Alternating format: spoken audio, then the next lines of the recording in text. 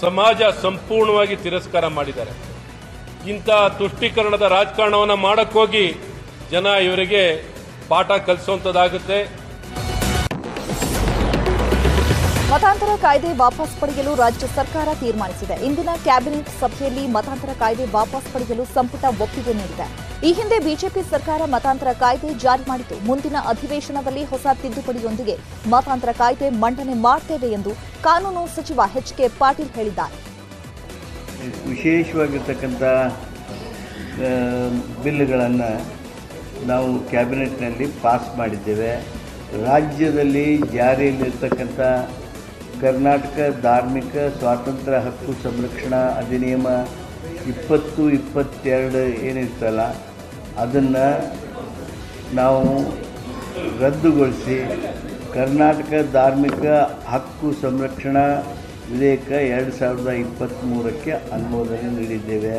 ಅಂದರೆ ಇಪ್ಪತ್ತು ಇಪ್ಪತ್ತೆರಡರಲ್ಲಿ ಮಾಡಿರ್ತಕ್ಕಂಥ ಅವರ ತಿದ್ದುಪಡಿಯನ್ನು ರದ್ದು ಮಾಡುವ ನಿರ್ಣಯ. ಇನ್ನು ಪಠ್ಯ ಪರಿಷ್ಕರಣೆ ಮತಾಂತರ ಬಿಲ್ ಅಲ್ಲದೆ ಇನ್ನಷ್ಟು ಮಹತ್ವದ ನಿರ್ಧಾರಗಳನ್ನು ಕ್ಯಾಬಿನೆಟ್ನಲ್ಲಿ ಹಲವು ಮಹತ್ವದ ತೀರ್ಮಾನವನ್ನು ತೆಗೆದುಕೊಳ್ಳಲಾಗಿದೆ. ರಾಜ್ಯ ಸರ್ಕಾರ ಎಪಿಎಂಸಿ ತಿದ್ದುಪಡಿ ಕಾಯ್ದೆ ವಾಪಸ್ ಪಡೆದಿದೆ. ಧಾರ್ಮಿಕ ಹಕ್ಕು ಸ್ವಾತಂತ್ರ್ಯ ಅಧಿನಿಯಮವನ್ನ ಕಾಯ್ದೆ ರದ್ದು ಮಾಡಿದೆ. ಇನ್ನು ಸಾರಿಗೆ ನೌಕರರ ವೇತನ ಹದಿನೈದರಷ್ಟು ಪರಿಷ್ಕರಣೆಗೆ ಕ್ಯಾಬಿನೆಟ್ ಒಪ್ಪಿದೆ. ಇಪ್ಪತ್ತೆಂಟು ಕೋಟಿ ಹದಿಮೂರು ಲಕ್ಷ ವೆಚ್ಚದಲ್ಲಿ ಡಬಲ್ ಡೆಕ್ಕರ್ ಬಸ್ ಖರೀದಿಗೆ ನಿರ್ಧರಿಸಲಾಗಿದೆ. ಕರ್ನಾಟಕ ಕೃಷಿ ಉತ್ಪನ್ನ ಮಾರುಕಟ್ಟೆ ವ್ಯವಹಾರ ಅಧಿನಿಯಮವನ್ನು ಬದಲಾವಣೆಯನ್ನು ಮಾಡ್ತೀವಿ ಅಂತಕ್ಕಂಥ ಮಾತನ್ನು ಮಾನ್ಯ ಮುಖ್ಯಮಂತ್ರಿಗಳು ಮತ್ತು ಕಾನೂನು ಸಚಿವರು ತಮ್ಮ ಗಮನಕ್ಕೆ ತಂದಿದ್ದಾರೆ. ಆ ಅಧಿನಿಯಮಕ್ಕೆ ಈಗಾಗಲೇ ಕ್ಯಾಬಿನೆಟ್ಟು ಅನುಮೋದನೆಯನ್ನು ಕೊಟ್ಟಿದೆ.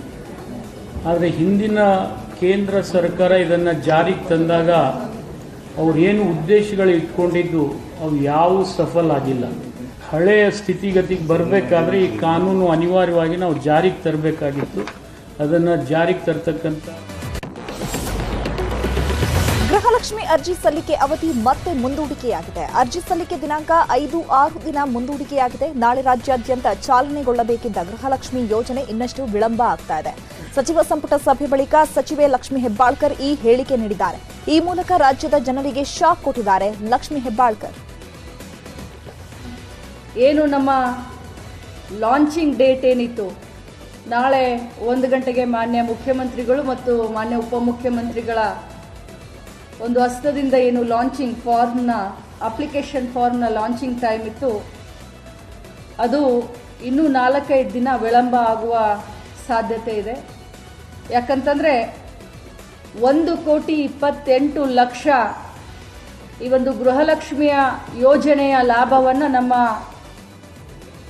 ಕುಟುಂಬದ ಯಜಮಾನಿ ಪಡೆಯುವಂಥ ಸಂದರ್ಭದಲ್ಲಿ ನಾವು ಈಗಾಗಲೇ ಅರ್ಜಿಗಳನ್ನು ಆನ್ಲೈನ್ ಮೂಲಕ ಮತ್ತು ಭೌತಿಕವಾಗಿ ಗ್ರಾಮವನ್ನು, ಬೆಂಗಳೂರನ್ನು, ಕರ್ನಾಟಕವನ್ನು ಕೇಂದ್ರಗಳಲ್ಲಿ ಪಡೆಯಬಹುದು ಅಂತ ನಾವು ಹೇಳಿದ್ವಿ. ಆದರೆ ಕ್ಯಾಬಿನೆಟ್ನಲ್ಲಿ ಚರ್ಚೆ ವೇಳೆ ಬಹಳಷ್ಟು ರಶ್ ಆಗುತ್ತೆ. ಜನಸಾಮಾನ್ಯರಿಗೆ ಬಹಳಷ್ಟು ತೊಂದರೆ ಆಗುತ್ತೆ.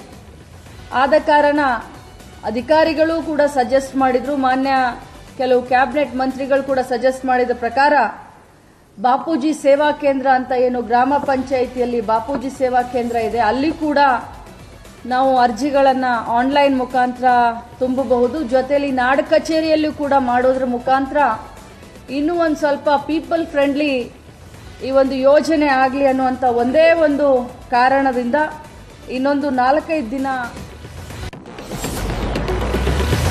ಅನ್ನಭಾಗ್ಯ ಯೋಜನೆಗೆ ಅಕ್ಕಿ ಹೊಂದಿಸೋದು ರಾಜ್ಯ ಸರ್ಕಾರಕ್ಕೆ ಸವಾಲಾಗಿದೆ. ಅಕ್ಕಿ ಕೊಡ್ತೀವಿ ಎಂದಿದ್ದ ಎಫ್ಸಿಐ ಇದೀಗ ಮುಕ್ತ ಮಾರುಕಟ್ಟೆ ಬೆಲೆಯಲ್ಲಿ ಕೊಡ್ತೀವಿ ಅಂತಿದೆ. ಹೀಗಾಗಿ ತೆಲಂಗಾಣ, ಆಂಧ್ರ ಸರ್ಕಾರದ ಜೊತೆ ಚರ್ಚೆ ಮಾಡ್ತೀವಿ ಎಂದಿದ್ದಾರೆ ಆಹಾರ ಸಚಿವ ಕೆಎಚ್ ಮುನಿಯಪ್ಪ. ಇನ್ನು ನಮ್ಮ ಇಲಾಖೆ ಅಧಿಕಾರಿಗಳು ಅನ್ಯ ರಾಜ್ಯಗಳಿಗೆ ಹೋಗ್ತಿದ್ದಾರೆ ಅಂತ ಹೇಳಿದ್ದಾರೆ. ಅಕ್ಕಿ ಸಿಗದಿದ್ರೆ ಜೋಳ, ರಾಗಿಯೂ ಇದರಲ್ಲಿ ಬರಲಿದೆ ಅಂತ ಹೇಳಿದ್ದಾರೆ. ಗ್ಯಾರಂಟಿ ಕಾರ್ಯಕ್ರಮದಲ್ಲಿ ಪ್ರಣಾಳಿಕೆಯಲ್ಲಿ ಕೂಡ ಹತ್ತು ಕೆ ಜಿ ಅಕ್ಕಿಯನ್ನು ಕೊಡ್ತೀವಿ ಅನ್ನೋ ಮಾತನ್ನು ಹೇಳಿದ್ದೇವೆ. ಅದರಂತೆ ನಾವು ಪಕ್ಕದ ರಾಜ್ಯಗಳಿಂದ ಅಕ್ಕಿಯನ್ನು ತಂದು ಅದನ್ನು ಖಂಡಿತವಾಗಿ ಕೂಡ ನಡೆಸ್ಕೊಳ್ತೀವಿ ಅಂತ ತಮ್ಮ ಮುಖಾಂತರ ಸಾರ್ವಜನಿಕರಿಗೆ ತಿಳಿಸಲಿಕ್ಕೆ ಇಷ್ಟಪಡ್ತೀವಿ. ಸಾಧ್ಯವಾದಷ್ಟು ಮಟ್ಟಿಗೆ. ಇನ್ನು ಕೇಂದ್ರದಿಂದ ಅಕ್ಕಿ ಕೊಡ್ತಿಲ್ಲ ಅಂತೆಲ್ಲ ದೂರುದು ನಿಲ್ಲಿಸಿ ಸರ್ಕಾರದ ಬಳಿ ಹೇಗೋ ಹಣ ಇದೆಯಲ್ಲ ಅದನ್ನ ಬಿಪಿಎಲ್ ಕಾರ್ಡ್ದಾರರ ಅಕೌಂಟ್ಗೆ ಹಾಕ್ಬಿಡಿ. ಅವರೇ ಖರೀದಿ ಮಾಡ್ತಾರೆ ಅಂತ ಬಿಜೆಪಿ ರಾಷ್ಟ್ರೀಯ ಪ್ರಧಾನ ಕಾರ್ಯದರ್ಶಿ ಸಿ ಟಿ ರವಿ ಹೇಳಿಕೆ ಕೊಟ್ಟಿದ್ದಾರೆ. ಜುಲೈ ಒಂದರಿಂದ ಅಕ್ಕಿ ಖಚಿತ ಇವ್ರ ಭಾಷಣ. ಈಗ ಕೇಂದ್ರದ ಮೇಲೆ ಆಪಾದನೆ. ನಾನು ಅವ್ರಿಗೆ ಏನು ವಿನಂತಿ ಮಾಡ್ತೀನಿ, ನೀವು ಎಲ್ಲ ಬಿ ಪಿ ಎಲ್ದಾರರ ಖಾತೆಗೆ ಹಣ ಹಾಕಿ, ಅವ್ರು ಅಕ್ಕಿ ಕೊಂಡ್ಕೊಳ್ತಾರೆ ಹೆಂಗೂ ಕೇಂದ್ರ ಈಗ ಐದು ಕೆ ಜಿ ಅಕ್ಕಿ ಕೊಡ್ತಾ ಇದೆ. ಹೆಚ್ಚುವರಿ ಅಕ್ಕಿ ಯಾರಿಗೆ ಬೇಕಾಗುತ್ತೆ? ಅವ್ರು ಕೊಂಡುಕೊಳ್ತಾರೆ. ದುಡ್ಡು ಕೊಟ್ಟರೆ ಅಕ್ಕಿ ಸಿಗುತ್ತೆ. ದುಡ್ಡು ಕೊಟ್ಟರೂ ಅಕ್ಕಿ ಸಿಗಲಾರ್ದಂಥ ಸ್ಥಿತಿಯಲ್ಲಿ ಏನಿಲ್ಲ. ಮಾರ್ಕೆಟಲ್ಲಿ ಸಿಗುತ್ತೆ. ದುಡ್ಡು ಕೊಟ್ಟರೆ ಕೊಂಡ್ಕೊಳ್ತಾರೆ. ನೀವು ದುಡ್ಡು ಹಾಕಿ. ಅತಿ ಹೆಚ್ಚು ಬಾರಿ ಬಜೆಟ್ ಮಂಡಿಸಿದ ತಮಗೆ ಈ ಸಿಂಪಲ್ ಐಡಿಯಾನೂ ಹೊಳಿದೇ ಇದ್ರೆ ಹೆಂಗೆ? ಇವ್ರು ಹೇಳ್ತಾರೆ ರೈಟಿಂಗ್ನಲ್ಲಿ ಏನಾದ್ರು ನಿಮ್ಗೆ ಕಮಿಟ್ ಮಾಡ್ಕೊಡ್ತೀವಿ, ನಿಮಗೆ ಕಳಿಸ್ತೀವಿ ಅಂತ ಏನೋ ಕಮಿಟ್ಮೆಂಟ್ ಲೆಟರ್ ಕೊಟ್ಟಿದ್ದಾರಾ? ನಿಮ್ಗೆ ಯಾವಾಗಲೂ ಕಮಿಟ್ಮೆಂಟ್ ಲೆಟರ್ ಕಳಿಸಿ ಕೊಟ್ಟಿದ್ದಾರಾ? ಕಮಿಟ್ಮೆಂಟ್ ಲೆಟರ್ ಕೊಟ್ಟಿದ್ದು ಕೊಟ್ಟು ಕೊಡದೇ ಇದ್ರೆ ತಪ್ಪಾಗ್ತದೆ ಕರ್ನಾಟಕ ರಾಜ್ಯಕ್ಕೆ ಅಕ್ಕಿ ಕೊಡದ ಭಾರತೀಯ ಆಹಾರ ನಿಗಮ ಮೋದಿ ಸರ್ಕಾರದ ಕೈಗೊಂಬೆ ಎಂದಿದ್ದಾರೆ ರಾಜ್ಯ ಕಾಂಗ್ರೆಸ್ ಉಸ್ತುವಾರಿ ರಣದೀಪ್ ಸುರ್ಜೇವಾಲಾ. ಪ್ರಧಾನಿ ಮೋದಿಯವರ ಬಡವರ ವಿರೋಧಿ ದ್ವೇಷಪೂರಿತ ನಿಲುವು ಇದು ಅಂತ ಹೇಳಿದ್ದಾರೆ ಬಡವರ ಅಕ್ಕಿಗೆ ಕೇಂದ್ರ ಕೊಕ್ಕೆ ಹಾಕ್ತಾ ಇದ್ರು ಕರ್ನಾಟಕದ ಕೇಂದ್ರ ಸಚಿವರು ಸಂಸದರು ಯಾಕೆ ಮೌನವಾಗಿದ್ದಾರೆ ರಾಜ್ಯ ಬಿಜೆಪಿ ಯಾಕೆ ಮೌನವಾಗಿದೆ ಬಿಜೆಪಿಯ ಬಿ ಟೀಮ್ ಜೆಡಿಎಸ್ ಯಾಕೆ ಮೌನವಾಗಿದೆ ಅಂತ ಪ್ರಶ್ನಿಸಿದ್ದಾರೆ price in the open market.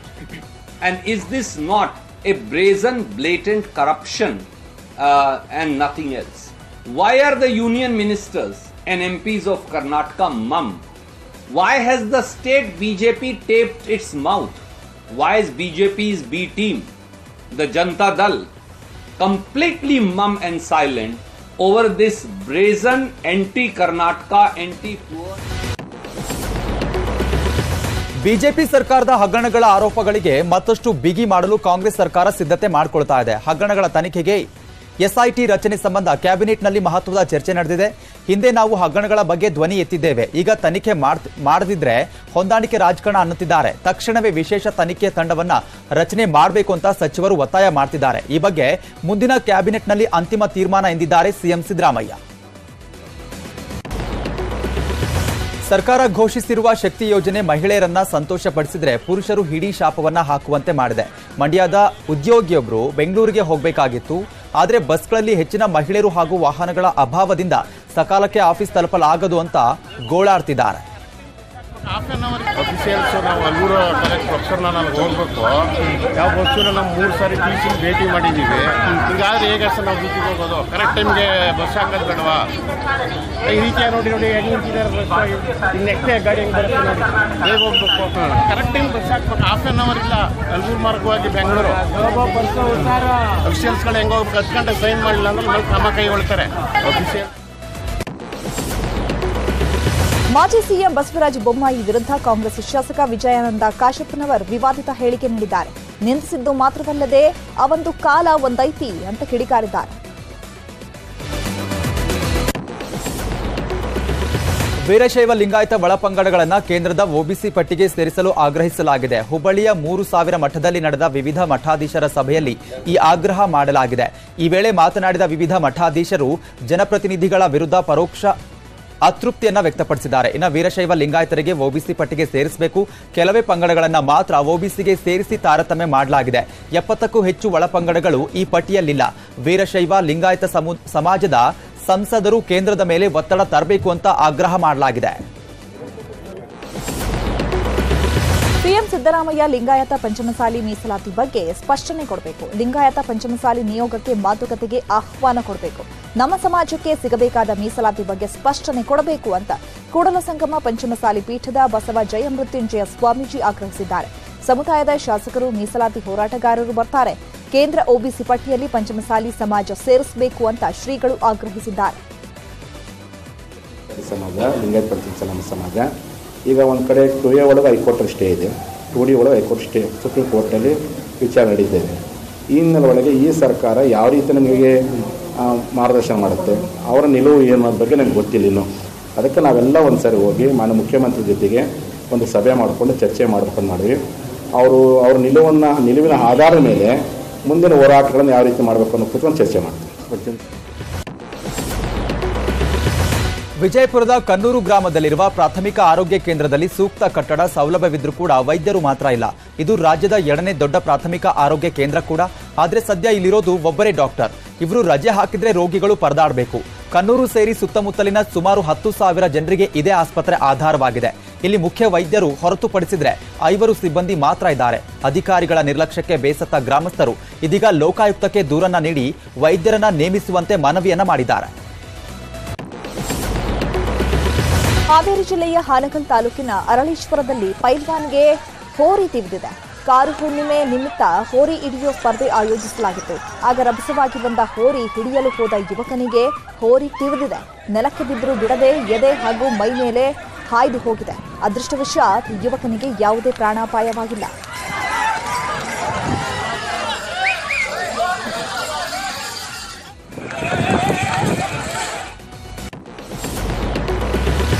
ಚನ್ನಪಟ್ಟಣದ ಚಿಕ್ಕಮಣ್ಣುಗುಡ್ಡೆ ರೈತರ ನಿದ್ದೆಗೆಡಿಸಿದಂತ ಮತ್ತೊಂದು ಪುಂಡಾನೆಯನ್ನ ಸೆರೆ ಹಿಡಿಯಲಾಗಿದೆ.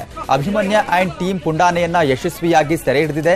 ಸೆರೆ ಹಿಡಿದ ಕಾಡಾನೆಯನ್ನ ಮತ್ತೆ ಕಾಡಿಗೆ ಬಿಡಲಾಗಿದೆ. ಇನ್ನು ಹಾಸನದಲ್ಲಿ ಕಾಡಾನೆ ಹಾವಳಿ ಹೆಚ್ಚಾಗಿದೆ. ಸಕಲೇಶ್ಪುರ ತಾಲೂಕಿನ ಕೊಲ್ಲಹಳ್ಳಿ ಸಮೀಪ ಒಂಟಿ ಸಲಗದ ಹಾವಳಿ ಮಿತಿ ಮೀರಿದೆ.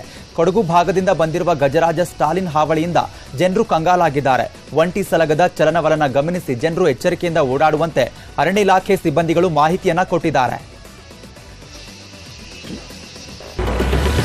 ಶಾಲೆಯ ಸಂಪರ್ಕದ ರಸ್ತೆಗೆ ಅಡ್ಡಲಾಗಿ ಗೋಡೆ ನಿರ್ಮಿಸಿದ ಘಟನೆ ಕೋಲಾರದ ಮಲ್ಯಪ್ಪನ ಹಳ್ಳಿಯಲ್ಲಿ ನಡೆದಿದೆ. ಆದ್ದರಿಂದ ಮಕ್ಕಳು ಪೆಂಡಾಲ್ ಕೆಳಗೆ ರಸ್ತೆ ಮೇಲೆ ಕುಳಿತು ಪಾಠ ಕೇಳ್ತಿದ್ದಾರೆ. ವ್ಯಕ್ತಿಯೊಬ್ಬರು ರಸ್ತೆಯ ಜಾಗ ತಮ್ಮದಂತ ತಗಾದೆ ತೆಗೆದು ಕಾಂಪೌಂಡ್ ಅನ್ನ ನಿರ್ಮಿಸಿದ್ದಾರೆ. ಆದ್ದರಿಂದ ಈ ಸಮಸ್ಯೆ ಸೃಷ್ಟಿಯಾಗಿದೆ. ನಿನ್ನೆ ಬಿಜೆಪಿ ಪ್ರತಿಭಟನೆ ವೇಳೆ ಮೆಸ್ಕಾಂ ಕಚೇರಿಗೆ ಕಲ್ಲು ತೂರಾಟ ವಿಚಾರಕ್ಕೆ ಸಂಬಂಧಪಟ್ಟಂತೆ ಇವತ್ತು ಎನ್ಎಸ್ಯುಐ ವತಿಯಿಂದ ಎಸ್ಪಿಗೆ ದೂರನ್ನ ನೀಡಲಾಗಿದೆ. ಪ್ರತಿಭಟನೆ ನೆಪದಲ್ಲಿ ಸರ್ಕಾರಿ ಆಸ್ತಿ ನಾಶ ಮಾಡಿದ್ದಾರೆ. ಕಲ್ಲು ತೂರಿದವರ ವಿರುದ್ಧ ಕೂಡಲೇ ಕ್ರಮ ಕೈಗೊಂಡು ಕಾರ್ಯಕರ್ತರನ್ನು ಬಂಧಿಸಬೇಕೆಂದು ಎನ್ಎಸ್ಯುಐ ಆಗ್ರಹಿಸಿದೆ. ಗುಜರಾತ್ನತ್ತ ಧಾವಿಸುತ್ತಿರುವ ಬಿಪರ್ಜಾಯ್ ಚಂಡಮಾರುತದ ಇನ್ನೂ ಕೆಲವೇ ಗಂಟೆಗಳಲ್ಲಿ ಕಚ್ ಕಡಲ ತೀರಕ್ಕೆ ಅಪ್ಪಳಿಸಲಿದೆ. ಈಗಾಗಲೇ ಅಪಾಯ ಪ್ರದೇಶದಲ್ಲಿರುವ ಸುಮಾರು ತೊಂಬತ್ನಾಲ್ಕು ಸಾವಿರ ಮಂದಿಯನ್ನು ಸ್ಥಳಾಂತರಿಸಲಾಗಿದೆ ಅಂತ ಅಧಿಕಾರಿಗಳು ಮಾಹಿತಿಯನ್ನು ಕೊಟ್ಟಿದ್ದಾರೆ. ಸ್ಥಳದಲ್ಲಿ ಎನ್ಡಿಆರ್ಎಫ್ ಮತ್ತು ರೈಲ್ವೆ ರಕ್ಷಣಾ ಪಡೆ, ಇನ್ನು ಎಸ್ಡಿಆರ್ಎಫ್ ಮತ್ತು ಸೇನಾ ಘಟಕಗಳು ಆಗಮಿಸಿದ್ದು ನೆರವು ನೀಡಲು ಸಿದ್ಧವಾಗಿವೆ. ಕಾರವಾರ ಕರಾವಳಿಯಲ್ಲೂ ಅಲರ್ಟ್ ಮಾಡಲಾಗಿದೆ. ಆದರೆ ಪ್ರವಾಸಿಗರ ಜೀವ ರಕ್ಷಕರಿಗೇನೇ ಜೀವ ರಕ್ಷಣೆ ಇಲ್ಲದಂತಾಗಿದೆ. ಇಲ್ಲಿ ಕಾರ್ಯನಿರ್ವಹಿಸುವ ಜೀವರಕ್ಷಕ ಸಿಬ್ಬಂದಿಗೆ ಜೀವ ಉಳಿಸುವ ಉಪಕರಣವೇ ಇಲ್ಲದೆ ಪರದಾಡ್ತಿದ್ದಾರೆ. ಲೈಫ್ ಗಾರ್ಡ್ಗಳಿಗೆ ನೀಡಲು ಉಪಕರಣಕ್ಕೂ ಪ್ರವಾಸೋದ್ಯಮ ಇಲಾಖೆಯಲ್ಲಿ ಹಣ ಇಲ್ಲವಾ ಎಂಬ ಪ್ರಶ್ನೆ ಎದುರಾಗಿದೆ. ಚಾಮರಾಜನಗರ ಜಿಲ್ಲೆಯಲ್ಲಿ ಅಂಗನವಾಡಿ ನೌಕರರ ನಿವೃತ್ತಿ ಹಣದಲ್ಲಿ ಗೋಲ್ಮಾಲ್ ಮಾಡಿರುವ ಆರೋಪ ಕೇಳಿಬಂದಿದೆ. ಜಿಲ್ಲೆಯಲ್ಲಿ ಅಂಗನವಾಡಿಯ ಐವತ್ತಾರು ನೌಕರರ ವೃತ್ತಿಯ ಹಣ, ನಿವೃತ್ತಿ ಹಣ ದುರುಪಯೋಗ, ದುರುಪಯೋಗವಾಗಿದೆ ಅಂತ ರಾಜ್ಯ ಅಂಗನವಾಡಿ ನೌಕರರ ಸಂಘದ ಪ್ರಧಾನ ಕಾರ್ಯದರ್ಶಿ ಎಚ್ ಎಸ್ ಸುನಂದ ಆರೋಪ ಮಾಡಿದ್ದಾರೆ. ಇನ್ನು ಮಹಿಳಾ ಮತ್ತು ಮಕ್ಕಳ ಕಲ್ಯಾಣ ಇಲಾಖೆಯ ನೌಕರ ಗಿರೀಶ್ ಎಂಬುವವರಿಂದ ಸರ್ಕಾರದಿಂದ ಹಣ ಬಿಡುಗಡೆಯಾದರೂ ಕೂಡ ನಿವೃತ್ತ ನೌಕರರ ಖಾತೆಗೆ ಹಣ ಹಾಕದೆ ಬೇರೆ ಖಾತೆಗಳಿಗೆ ವರ್ಗಾಯಿಸಿದ್ದಾರೆ ಹಣವನ್ನು ಅಂತ ಆರೋಪ ಮಾಡಿದ್ದಾರೆ. ಇನ್ನ ಅನುಮಾನಗೊಂಡಿರುವಂತ ವಿ- ಅನುಮಾನಗೊಂಡು ವಿಚಾರಣೆ ಮಾಡಿದಾಗ ದುರುಪಯೋಗ ಬಯಲಾಗಿದ್ದು ಆತನನ್ನ ಬಂಧಿಸುವಂತೆ ಆಗ್ರಹ ಮಾಡಿದ್ದಾರೆ. ಗದಗ ಜಿಲ್ಲೆಯ ಲಕಮಾಪುರ ಗ್ರಾಮದಲ್ಲಿ ಸರ್ಕಾರಿ ಬಸ್ ಸೇವೆ ಸ್ಥಗಿತದ ಕುರಿತು ನ್ಯೂಸ್ ಏಟೀನ್ ವಿಸ್ತೃತ ವರದಿ ಮಾಡಿತು ಇದರ ಬೆನ್ನಲ್ಲೇ ನ್ಯೂಸ್ ಏಟೀನ್ಗೆ ಎನ್ಡಬ್ಲ್ಯೂ ಕೆಎಸ್ಆರ್ಟಿಸಿ ಡಿಸಿ ಜಿ ಶಿ- ಶೀನಯ್ಯ ಸ್ಪಂದನೆ ಕೊಟ್ಟಿದ್ದಾರೆ. ಇನ್ನು ಗ್ರಾಮಕ್ಕೆ ಸರ್ವಿಸ್ ಬಂದಾಗಿ ಬಂದಾಗಿರುವ ಬಗ್ಗೆ ಮಾಹಿತಿಯನ್ನ ಬಂದಿದೆ. ರಸ್ತೆ ಹಾಗೂ ಸೇತುವೆ ದುರಸ್ತಿ ಆಗಿದೆ. ಜಿಲ್ಲಾ ಉಸ್ತುವಾರಿ ಸಚಿವ ಎಚ್ ಕೆ ಪಾಟೀಲ್ ಸೂಚನೆ ಕೊಟ್ಟಿದ್ದಾರೆ. ಇನ್ನೆರಡು ದಿನಗಳಲ್ಲಿ ಬಸ್ ಸೇವೆ ಆರಂಭಿಸುತ್ತೇವೆ ಅಂತ ಭರವಸೆಯನ್ನ ಕೊಟ್ಟಿದ್ದಾರೆ. ದೆಹಲಿಯ ಮುಖರ್ಜಿ ನಗರದಲ್ಲಿರುವ ಕೋಚಿಂಗ್ ಸೆಂಟರ್ ಒಂದರಲ್ಲಿ ಬೆಂಕಿ ಕಾಣಿಸಿಕೊಂಡಿದ್ದು, ವಿದ್ಯಾರ್ಥಿಗಳು ಕಿಟಕಿ ಮೂಲಕ ಹೊರಬಂದು ಜೀವ ಉಳಿಸಿಕೊಂಡಿದ್ದಾರೆ. ಈ ವಿಡಿಯೋ ವೈರಲ್ ಆಗಿದ್ದು, ಬೆಂಕಿ ಹೊತ್ತಿಕೊಂಡ ತಕ್ಷಣ ಅಗ್ನಿಶಾಮಕ ದಳಕ್ಕೆ ಮಾಹಿತಿ ನೀಡಲಾಗಿದ್ದು, ಹನ್ನೊಂದು ವಾಹನಗಳು ಸ್ಥಳಕ್ಕೆ ಆಗಮಿಸಿತ್ತು. ಈ ಘಟನೆಯಲ್ಲಿ ನಾಲ್ವರಿಗೆ ಗಾಯಗಳಾಗಿವೆ. ಒಂದು ಪಕ್ಷ ಬಿಟ್ಟು ಮತ್ತೊಂದು ಪಕ್ಷಕ್ಕೆ ಹಾರುವುದು ರಾಜಕಾರಣಿಗಳಲ್ಲಿ ಸರ್ವೇ ಸಾಮಾನ್ಯ. ಆದರೆ, ಇಲ್ಲೊಬ್ಬ ರಾಜಕಾರಣಿ ಕಾಂಗ್ರೆಸ್ ತರದು ಬಿಜೆಪಿ ಸೇರಿ ಈಗ ಮತ್ತೆ ಕಾಂಗ್ರೆಸ್ ಪಕ್ಷಕ್ಕೆ ಮರಳಿದ್ದಾರೆ. ಹೌದು, ಮಧ್ಯಪ್ರದೇಶದ ಬೈಜನಾಥ್ ಸಿಂಗ್ ಶಿವಪುರಿಯಿಂದ ಸುಮಾರು ಮುನ್ನೂರು ಕಿಲೋಮೀಟರ್ ದೂರದಲ್ಲಿರುವ ಭೋಪಾಲ್ಗೆ ನಾಲ್ಕುನೂರು ಕಾರುಗಳ ಬೆಂಗಾವಲು ಪಡೆಯೊಂದಿಗೆ ಪ್ರಯಾಣಿಸಿ ಗತ್ತನ್ನ ಪ್ರದರ್ಶನ ಮಾಡಿದ್ದಾರೆ. ಖಲಿಸ್ತಾನಿ ಬೆಂಬಲಿಗ ಅಮೃತ್ಪಾಲ್ ಸಿಂಗ್ ಆಪ್ತ ಅವತಾರ್ ಸಿಂಗ್ ಖಂಡ ಯುಕೆಯಲ್ಲಿ ಸಾವನ್ನಪ್ಪಿದ್ದಾನೆ. ರಕ್ತದ ಕ್ಯಾನ್ಸರ್ನಿಂದ ಬಳಲ್ತಾ ಇದ್ದು, Avtar Singh Birmingham city ಆಸ್ಪತ್ರೆಯಲ್ಲಿ ಮೃತಪಟ್ಟಿದ್ದಾನೆ. ಲಂಡನ್ನಲ್ಲಿರುವ ರಾಯಭಾರ ಕಚೇರಿಯಲ್ಲಿ ಭಾರತದ ರಾಷ್ಟ್ರ ಧ್ವಜವನ್ನು ಕೆಳಗಿಳಿಸಿದ್ದಕ್ಕಾಗಿ ಅವತಾರ್ ಸಿಂಗ್ನನ್ನ ಯುಕೆಯಲ್ಲಿ ಬಂಧಿಸಲಾಗಿತ್ತು. ರಾಕಿಂಗ್ ಸ್ಟಾರ್ ಯಶ್ ಕಾರ್ ಗ್ಯಾರೇಜ್ಗೆ ಮತ್ತೊಂದು ಐಷಾರಾಮಿ ಕಾರ್ ಎಂಟ್ರಿ ಕೊಟ್ಟಿದೆ. ರಾಕಿ ಭಾಯ್ ಐದು ಕೋಟಿ ಬೆಲೆಯ ರೇಂಜ್ ರೋವರ್ ಸ್ಪೆಷಲ್ ಆಡಿಷನ್ ಕಾರನ್ನ ಖರೀದಿ ಮಾಡಿದ್ದಾರೆ. ಮಂಡ್ಯದಲ್ಲಿ ಅಂಬಿಪುತ್ರನ ಅಭಿಷೇಕ್ ಬೀಗರೂಟ ಹಾಕಿಸಲಾಗಿದ್ದಾರೆ. ನಾಳೆ ಅಭಿಷೇಕ್ ಅವಿವಾ ಮದುವೆಯ ಬೀಗರ ಔತಣ ನಡೆಯಲಿದ್ದು ಏಳರಿಂದ ಎಂಟು ಟನ್ ಮಟನ್ ಒಂಬತ್ತರಿಂದ ಹತ್ತು ಟನ್ ಕೋಳಿ ಬಳಸಿ ಊಟವನ್ನು ಹಾಕಿಸಲಾಗ್ತಾ ಇದೆ. ನಿವೇದಿತಾ ಶಿವರಾಜ್ ಕುಮಾರ್ ನಿರ್ಮಾಣದ ಮೊದಲ ಚಿತ್ರದ ಮುಹೂರ್ತ ನಡೆದಿದೆ. ಕಾಡು ಮಲ್ಲೇಶ್ವರ ದೇವಸ್ಥಾನದಲ್ಲಿ ಮೊದಲ ಚಿತ್ರಕ್ಕೆ ಪೂಜೆ ಮಾಡಲಾಗಿದೆ. ನವನಿರ್ದೇಶಕ ವಂಶಿ ನಟನೆ ಮಾಡಿ ನಿರ್ದೇಶನ ಮಾಡ್ತಿರುವ ಫೈರ್ ಪ್ಲೇ ಚಿತ್ರವನ್ನು ನಿವೇದಿತ ನಿರ್ಮಾಣ ಮಾಡ್ತಿದ್ದಾರೆ. ಸ್ಯಾಂಡಲ್ವುಡ್ ಅಭಿನಯ ಚಕ್ರವರ್ತಿ ಕಿಚ್ಚ ಸುದೀಪ್, ಅಕ್ಕನ ಮಗ ಸಂಚಿತ್ ಸಂಜೀವ್ ಸ್ಯಾಂಡಲ್ವುಡ್ಗೆ ಎಂಟ್ರಿ ಕೊಟ್ಟಿದ್ದಾರೆ. ಮೊದಲ ಚಿತ್ರದಲ್ಲಿ ಎರಡು ಜವಾಬ್ದಾರಿ ಹೊತ್ತು ಸಂಚಿತ್ ಸಂಜೀವ್ ಬರ್ತಿದ್ದಾರೆ. ಬಂಡಿ ಮಹಾಕಾಳಮ್ಮ ದೇವಸ್ಥಾನದಲ್ಲಿ ಚಿತ್ರಕ್ಕೆ ಮುಹೂರ್ತ ನೆರವೇರಿಸಲಾಯಿತು.